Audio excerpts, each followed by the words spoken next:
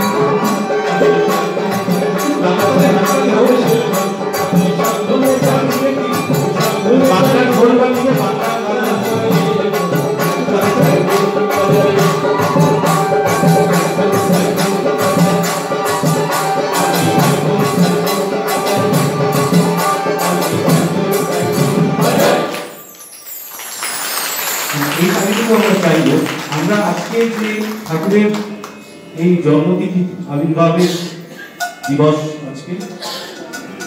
তো আমরা তো কি দিতে পারি? আমরা গান বাজনা করি গান বাজনা ছাড়া আর কিছু আমাদের দেওয়ার নেই।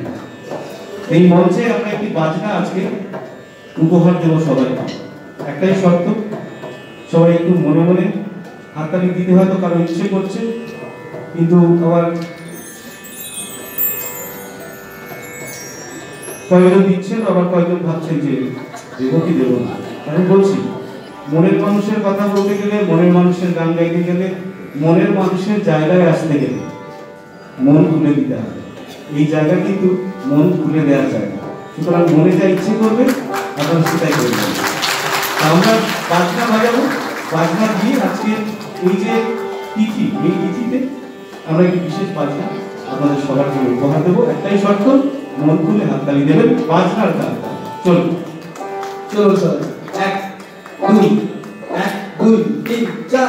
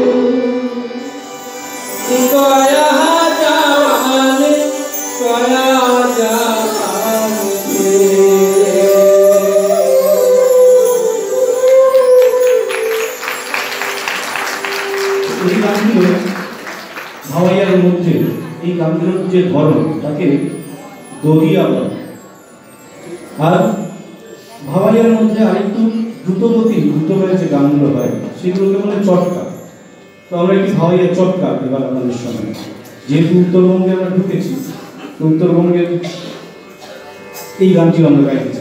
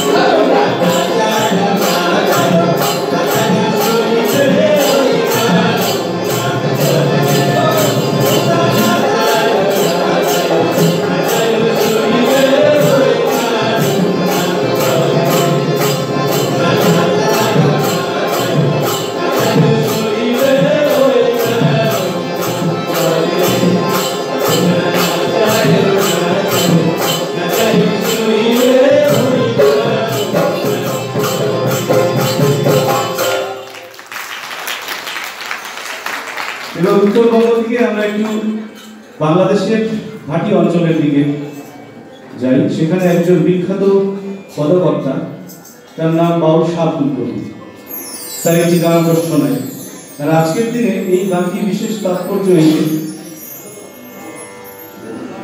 আমরা একদমই বসন্তে আছি।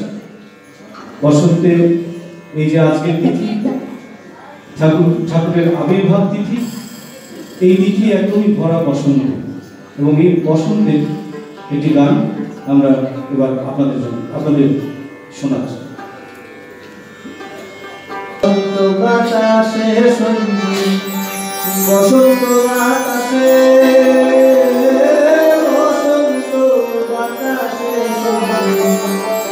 বসন্ত আকাশে বন্ধুর বাড়ির ফুলের বন্ধুর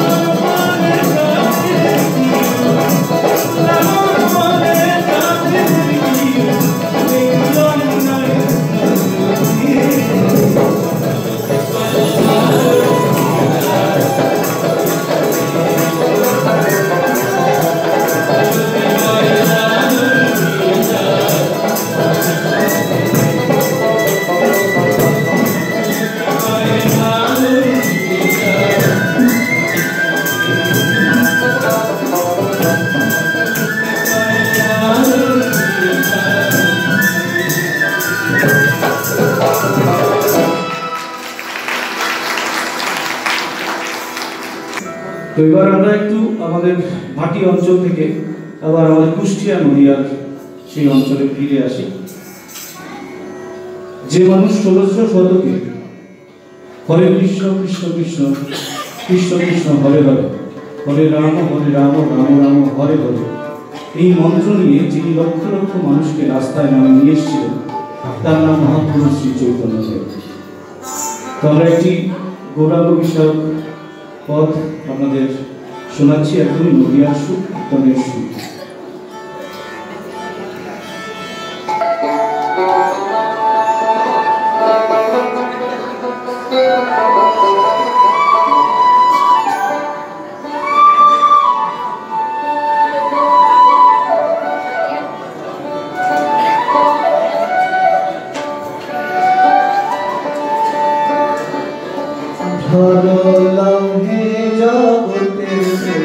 Lord.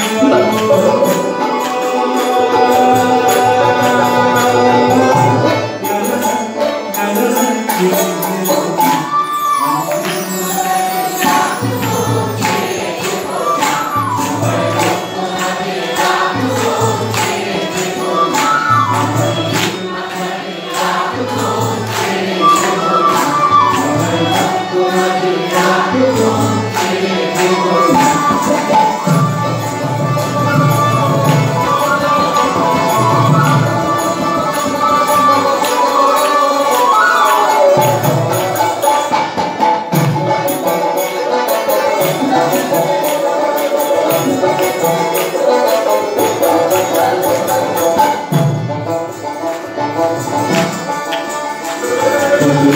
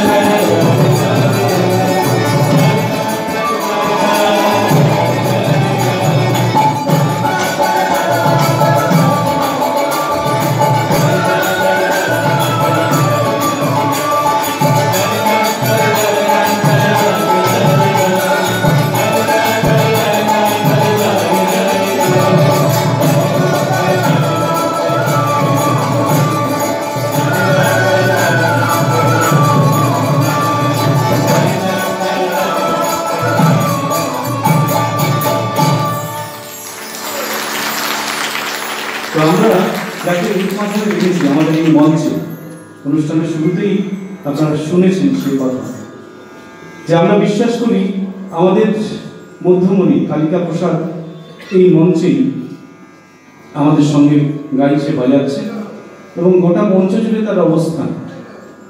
আমরা যেখানে যেখানে অনুষ্ঠান করতে যাই এবং অনুষ্ঠানের বাইরে যে কাজকর্ম আমরা দোহারের পক্ষ থেকে আমরা করি, আপনারা জানেন যে লোকগান সংগ্রহ করা এবং সেই লোকগানকে সারা বিশ্বের মানুষের কাছে পৌঁছে দেওয়াই হচ্ছে দোহারের মুখ্য উদ্দেশ্য।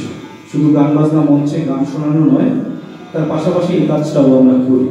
তো আমরা এটা বিশ্বাস করি যে কালিকা প্রসাদের নেতৃত্বে আজকের দিনেও আমরা সেই কাজটা করি। এই ঠিক সামনে আপনারা একটা দুর্কি দেখতে পাচ্ছেন। এই যন্ত্রটি বাজিয়ে ও আমাদের এই গোটা মঞ্চে আজকের দিনেও উপস্থিত। আমরা এটা অনুভব করি। আমরা তাকে মাঝারে রেখেছি এবং তাকে সামনে নিয়েই পথ চলছি। তো সুতরাং মনের মানুষের কথা বলতে গেলে, মনের গান গাইতে গেলে, ঠাকুরের কথা বলতে গেলে ঠাকুরের দর্শন পেতে গেলে মন খুলে দিতে হবে। মনের মধ্যে কোনো মলিনতা রাখলে হবে না। সুতরাং আপনি যখন এই ঠাকুরের কাছে আসবেন, তখন আপনার সমস্ত কিছু এখানে সমর্পণ করবেন। সমর্পণ করলেই দেখবেন আপনি ঠিক মার্গদর্শন আপনার হবে। যাক এটা হচ্ছে আমাদের আমাদের কথা বললাম। আমাদের মধ্যমণির কথা বললাম। তো নদিয়ার সুরে যখন আছি আজ আরেকটি গান, আমি একটু ভাবছিলাম, ও আরেকটি গান নজরুল গানটিও খুব সুন্দর। এই গানগুলোকে আসলে মনোয়ার গান হচ্ছে আরেকটি লালন ফকিরের গান। হ্যাঁ লালন ফকিরের গান। শুনুন শুনুন।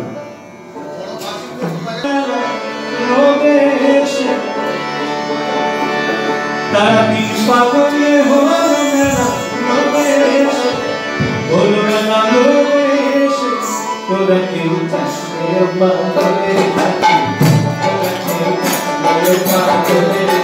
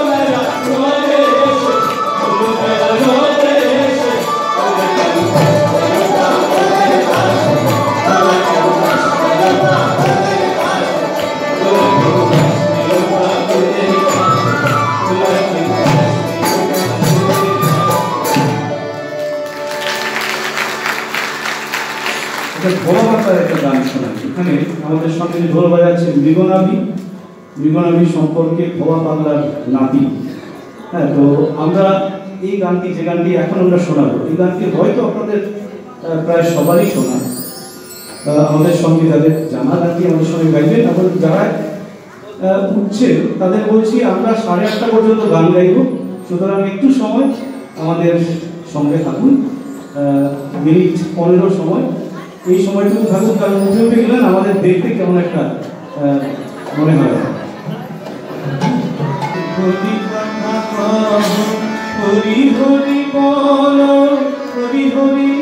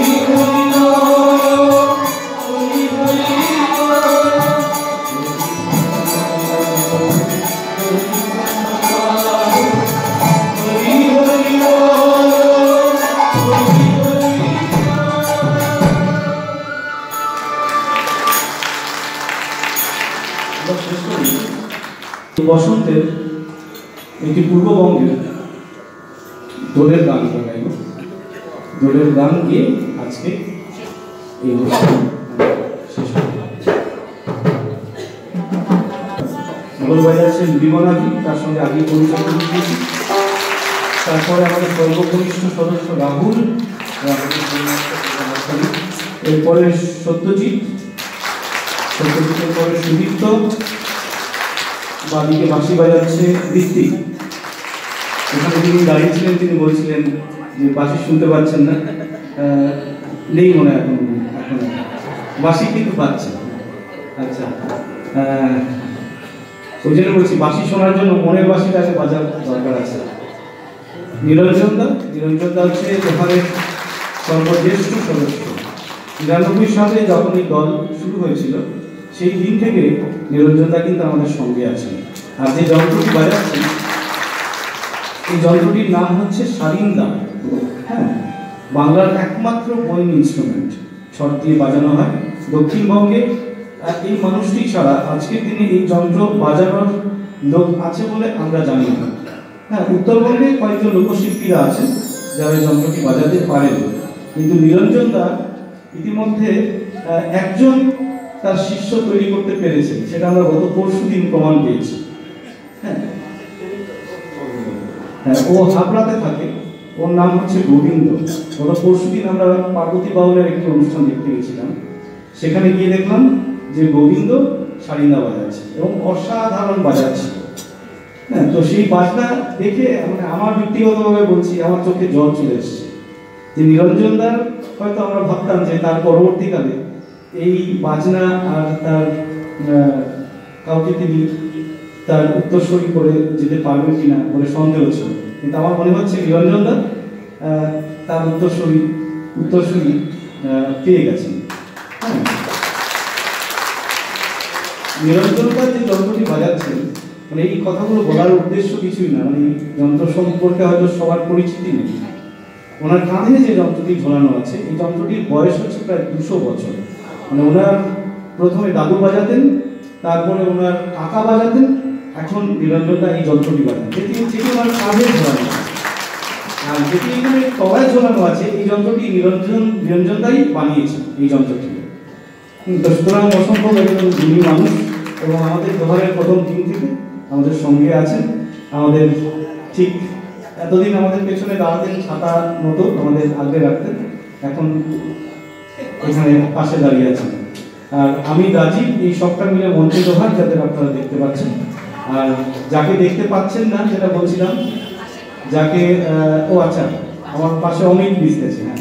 অমিত অমিত আজকে বেশি গান গায়নি তো? সেই ওর যে গানগুলো গায়, সেগুলো কম হয়েছে সেই জন্য ওর গান গাওয়া কম হয়েছে ওর নামটাই ভুলে গেছে।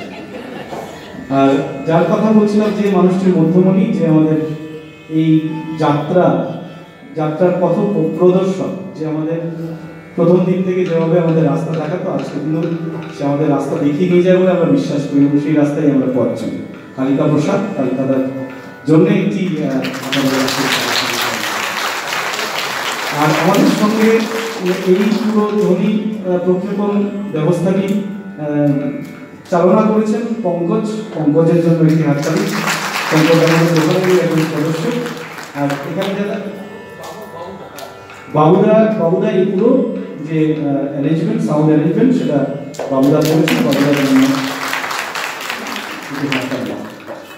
আমরা মনে হয় আপনাদের কেমন লেগেছে আমাদের অনুষ্ঠান আমরা জানি না। কিন্তু আমি বলছি।